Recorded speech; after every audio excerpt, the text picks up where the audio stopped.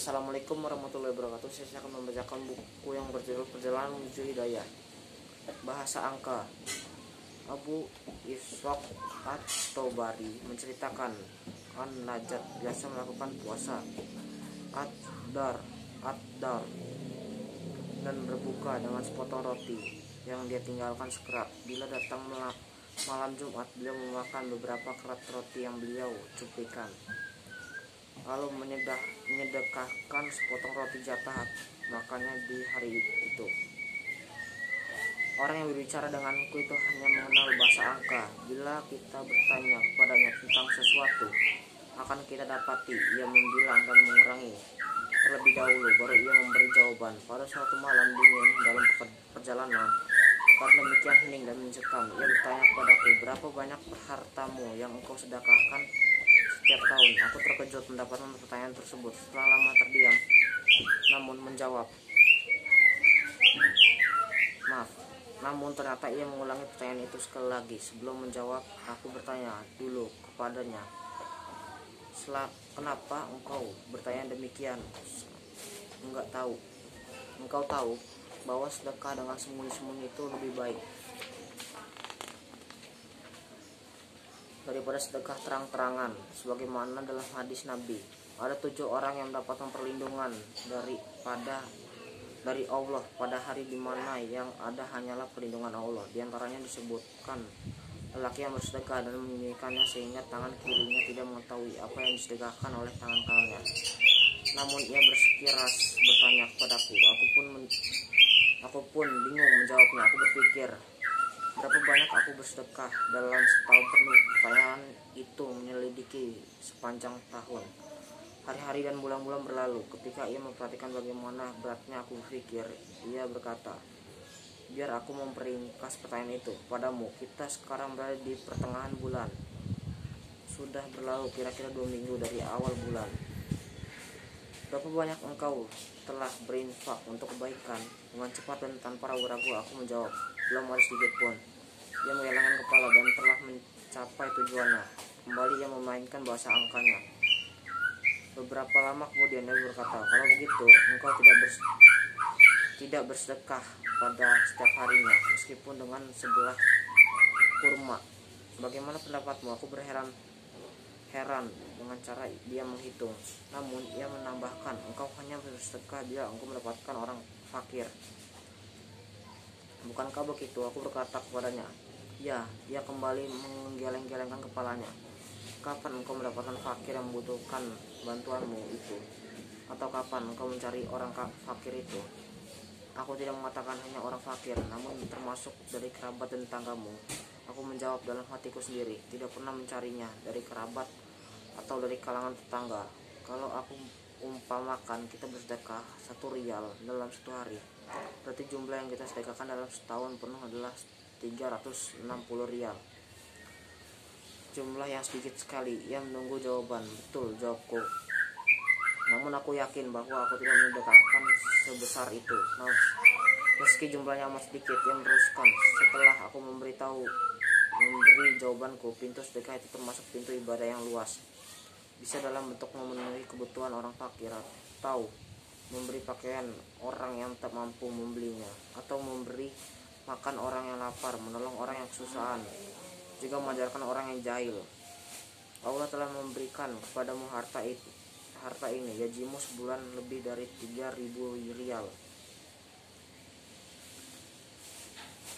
Apa yang engkau persembahkan untuk Islam dan muslimin? Apakah engkau pernah membelikan buku untuk para tetanggamu? Apakah engkau pernah ikut andil dan membangun masjid meski dengan jumlah sedikit?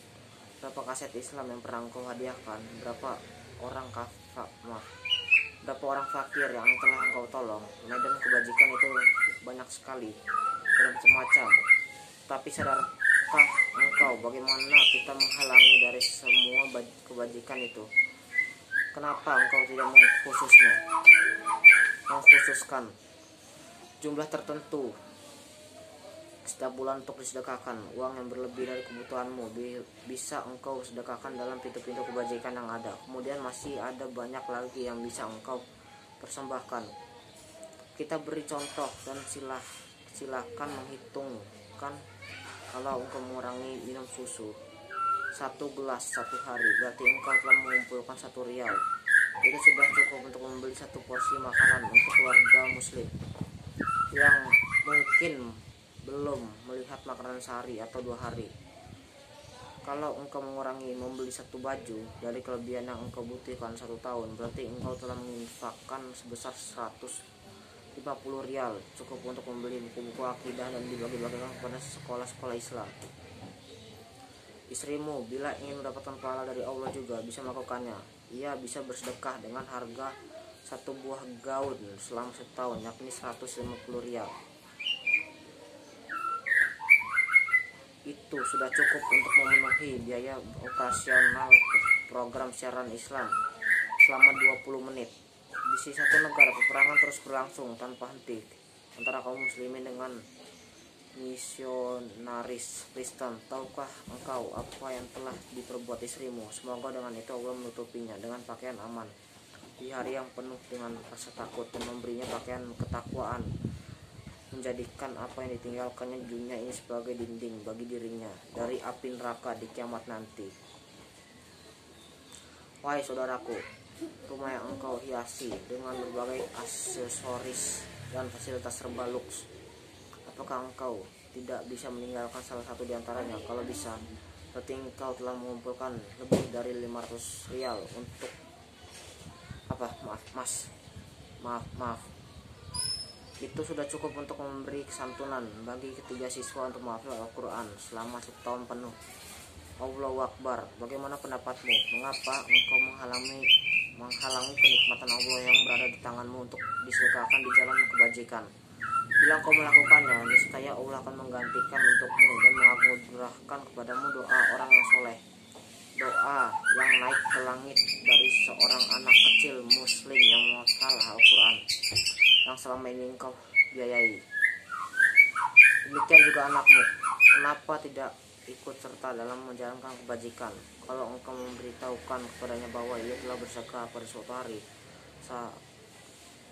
seharus seharga mainannya untuk membantu dan menolong kaum muslimin, pasti akan engkau lihat kegembiraan di wajahnya. Ia adalah anak Islam dalam sejumlah 35 rial sebagai sedekah artinya engkau bisa berlangganan majalah bulanan selama satu tahun penuh mengangkat panji ajaran maaf mengangkat panji ajaran tauhid dan memerangi bid'ah serta kemusyrikan engkau telah andil membantu meski dengan bantuan yang ringan dengan membaca dan mengambil tau mengambil faidah.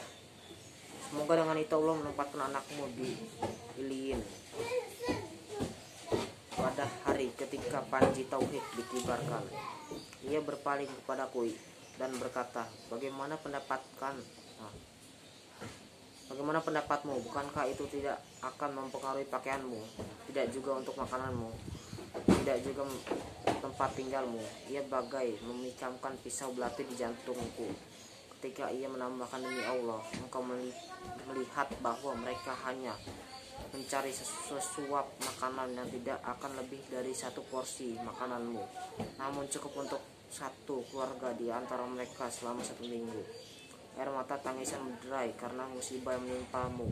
Wahai umatku sampai kapan kami akan terus menangisimu?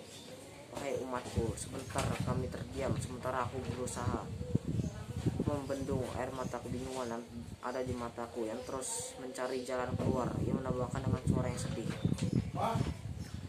Berapa orang fakir yang mendapat engkau tolong? Berapa banyak orang-orang yang berhak yang engkau beri? Berapa banyak pintu kebajikan pula yang engkau ketuk? Dan berapa pahala yang dapat engkau peroleh? Ini adalah salah satu pintu kebajikan. Bila engkau melihat sisi yang lain engkau akan terheran-heran. Bila seorang muslim menggagalkan perjalanan tahunnya ini